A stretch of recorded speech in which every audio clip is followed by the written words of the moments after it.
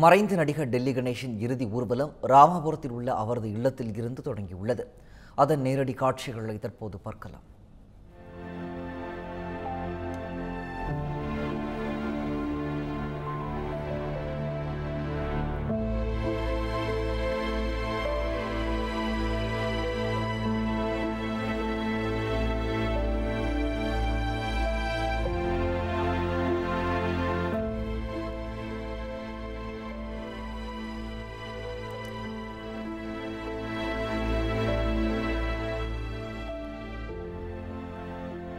நடிகர் டெல்லி கணேஷன் இறுதி ஊர்வலமானது ராமாபுரத்தில் அவரது இல்லத்தில் இருந்து தொடங்கியிருக்கிறது. தொடர்பான கூடுதல் விவரங்களை எமது செய்தியாளர் சுஷ்மா சுரேஷ் வழங்க கேட்கலாம். சுஷ்மா சுரேஷ் வணக்கம். இந்த இறுதி ஊர்வலம் தொடர்பான வணக்கம் பிரகாஷ். நேற்று நவம்பர் அதாவது நவம்பர் பத்தாம் தேதி பதினோரு மணி அளவுல பாத்தீங்கன்னா இரவு பதினோரு மணி அளவுல பாத்தீங்கன்னா அவருடைய உயிரானது தூக்கத்திலே பிரிந்திருக்கு. டெல்லி கணேஷோடைய உயிரானது தூக்கத்திலே பிரிந்திருக்கு.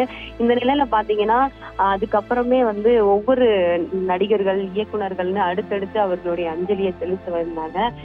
வெற்றி வெற்றிமாறன் சூரி கே எஸ் ரவிக்குமார் அப்படின்னு சொல்லிட்டு பல்வேறு நடிகர்கள் அவங்களுடைய இடங்களையும் தெரிவித்திருந்தாங்க இது போக ரஜினிகாந்த் கமல் உள்ளிட்டோரும் அவங்கவுங்களுடைய சமூக வலைதளங்கள்ல ஏன்னா வெளியூர்ல அவங்க இருக்கிறனால வர முடியாத சூழ்நிலை இருக்கிறனால சமூக வலைதளங்கள்ல அவங்களுடைய இரங்கலை தெரிவிச்சிருந்தாங்க. இது போக பாத்தீங்கன்னா அரசியல் கட்சியினர் சீமான் ஹெச் ராஜா உள்ளிட்டோரும் நேரில் வந்து இந்த மாதிரி மரியாதை செலுத்தினாங்க. இது போக இவர் வந்து டெல்லி கணேஷ் வந்து ஏற்கனவே விமானப்படையில் இருந்ததுனால அந்த விமானப்பட அதிகாரிகளும் இப்போது தற்போது பாத்தீங்கன்னா ஒரு பத்து மணி அளவுல அவங்களுடைய இறுதி அஞ்சலியை செலுத்தியிருந்தாங்க. இந்த நிலையில இப்போ அவர் சென்னை ராமா ராமாபுரத்துல உள்ள அவரது வீட்டுல இருந்து பாத்தீங்கன்னா அவருடைய ஊர்வலமானது தொடங்கியிருக்கு. இந்த ஊர்வலம் பாத்தீங்கன்னா நெசப்பாக்கம் கல்லறையில நெசப்பாக்கம் மின் அவருடைய உடலானது தகனம் செய்யப்படுகிறது. இன்னும் சற்று நேரத்துல அவருடைய உடல் தகனம் செய்யப்படுகிறது.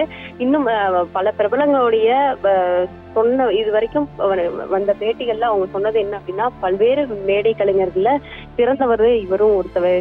இப்படி ஒவ்வொரு மேடை கலைஞர்களா உயிரிழந்து வர்றது ரொம்ப பெரிய சோகமா இருக்கு. கலைத்துறை அடுத்த நிலை என்ன ஆகுமோ அப்படின்ற ஒரு பயம் வருகிறது.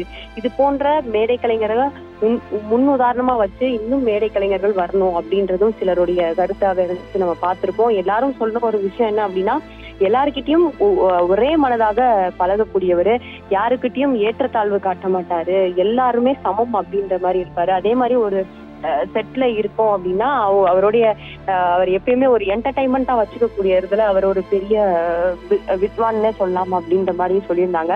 கொஞ்சம் கூட யாராவது சோகமா போய் அவர்கிட்ட நின்னாலுமே அவர் மாதிரியே நம்மளும் எம்பு ஆயிடலாம் எண்பது வயசுல கூட அவர் வந்துட்டு இன்னமுமே சி- சின்ன திரையில நடிச்சிட்டு இருக்காரு கடைசியா பாத்தீங்கன்னா அரண்மனை அரண்மனை போர் படத்துலயுமே அவருடைய காட்சிகளை நம்ம பார்த்திருப்போம் ஒவ்வொரு படத்துலயுமே அவர் அவருடைய இயல்ப வில்லனா இருக்கட்டும் குணச்சித்திர நடிகனா இருக்கட்டும் இவர் ஒரு காமெடியனான்னு சொல்ல முடியாது. குணச்சித்திர நடிகனா அப்படின்னும் சொல்ல முடியாது. தனிப்படையான எந்த பட்டமும் கொடுக்க முடியாது. எல்லாமே கலந்தது தான் நடிகன் அப்படின்றதுக்கான எடுத்துக்காட்டாகவும் டெல்லி கணேஷ் அவர்கள் இருக்காருன்னு சொல்லலாம். இதை தாண்டி கிட்டத்தட்ட நானூறுக்கும் மேற்பட்ட படங்கள்ல நடிச்சிருக்காரு. எந்த ஒரு ப- பழைய படங்கள்ல எந்த ஒரு படமா எடுத்தாலுமே அவருடைய பட அவருடைய காட்சிகள் இல்லாம இருக்காது.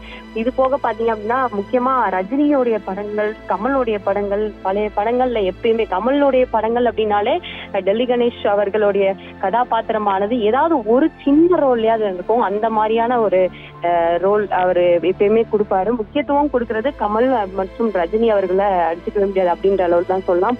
இந்த நிலையில எல்லாருடைய எல்லா திரைத்துறையினுடைய இதுவுமே என்ன இருக்குன்னா நாங்க நாங்க ஜூனியரா வந்தோம். எங்களுக்குமே அவர் நிறைய சொல்லி கொடுப்பாரு. டிரெக்ஷன்ல இருந்து எல்லாமே சொல்லி கொடுப்பாரு அப்படின்ற மாதிரி சொன்னாங்க.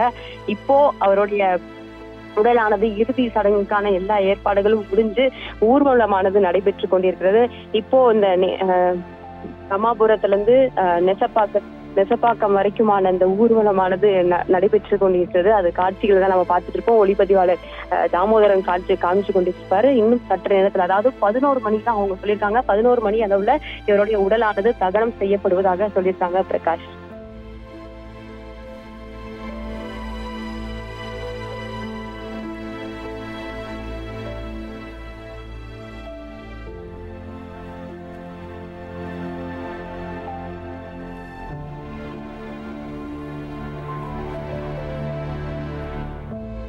விவரங்களுக்கு நன்றி சுஷ்மா.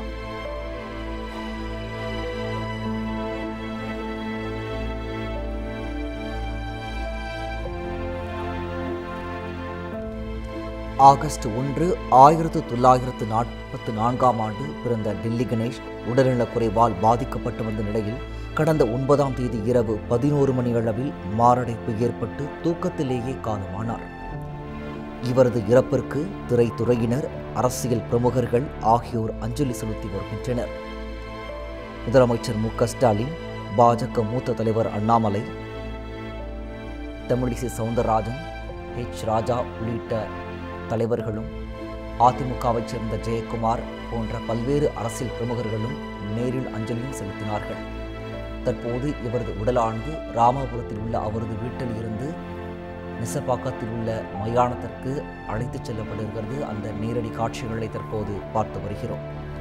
நகைச்சுவை குணச்சத்திரம் உள்ளிட்ட அனைத்து கதாபாத்திரங்களிலும் நடித்து தமிழ் திரையுலகில் நீங்கா இடம் பிடித்தவர் நடிகர் டெல்லி கணேஷ். கொடுக்கப்படும் கதாபாத்திரங்களை உள்வாங்கி மக்கள் ரசிக்கும்படியாக நடிக்கும் குணச்சித்திர நடிகர்கள் அபூர்வம் அத்தகையவர்களில் இடம் பிடித்தவர் Delhi Ganesh. Hero villain comedian என எந்த கதாபாத்திரமாக இருந்தாலும் கன கச்சிதமாக பொருந்தி நடிப்பது அவரது சிறப்பம்சம். திருநெல்வேலியில் உள்ள பத்தமடையில் பிறந்து வளர்ந்த நெல்லி கணேஷ் தொடக்கத்தில் இந்திய வான்படையில் பணியாற்றி வந்தார். நடிப்பில் தீரா காதல் கொண்டிருந்த அவரை பட்டின பிரவேசம் படத்தின் மூலம் தமிழ் சினிமாவிற்கு அறிமுகப்படுத்தினார் இயக்குனர் கே. பாலச்சந்தர். ஆயிரத்து தொள்ளாயிரத்து எண்பத்து ஓராம் ஆண்டு வெளியான எங்கம்மா மகாராணி படத்தில் ஹீரோவாக நடித்த டெல்லி கணேஷ் அதிகமாக நகைச்சுவை கதாபாத்திரங்களிலும் குணச்சித்திர வேடங்களிலும் நடித்து ரசிகர்களை கவர்ந்தார். நானூறுக்கும் மேற்பட்ட திரைப்படங்களில் டெல்லி கணேஷ் நடித்துள்ளார். திரைப்படங்களைப் போலவே நாடகத்துறையிலும் அவர் அதிக ஆர்வம் கொண்டிருந்தார். தக்ஷிண பாரத நாடக சபா எனப்படும் தில்லி நாடக குழுவிலும் அவர் உறுப்பினராக இருந்து வந்தார். இதன் காரணமாக டெல்லி என்ற அடைமொழி அவரது பெயருடன் இணைக்கப்பட்டது. கமல்ஹாசனுடன் இணைந்து அவர் நடித்த பெரும்பாலான படங்கள் ரசிகர்களால் எப்போதும் மறக்க முடியாதவை. மைக்கேல் மதன காமராஜன் நாயகன் அவ்வை சண்முகி அபூர்வ சகோதரர்கள் உள்ளிட்ட அனைத்து படங்களும் காலத்தால் அழியாதவை. அதேபோல ரஜினிகாந்துடன் இணைந்து நடித்த பொல்லாதவன் படிக்காதவன் ராகவேந்திரா உள்ளிட்ட படங்களும் அவரது திரைப்பயணத்தில் முக்கிய படங்களாக அமைந்தன.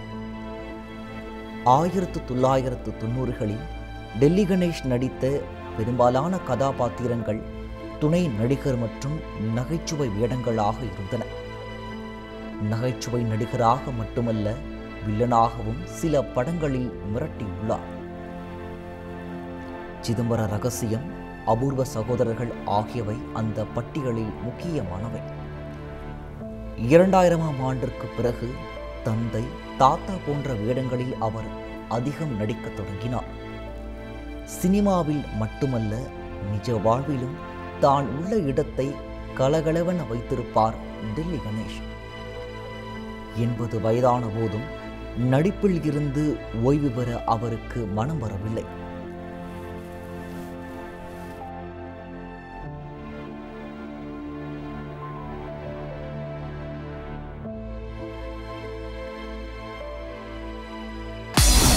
செய்திகளை உடனுக்குடன் தெரிந்து கொள்ள தமிழ் ஜனம் யூடியூப் பக்கத்தை சப்ஸ்கிரைப் செய்யுங்கள்.